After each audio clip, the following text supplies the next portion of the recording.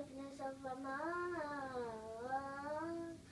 But if you, but if you close your eyes, it does almost feel like nothing changed at all. You close your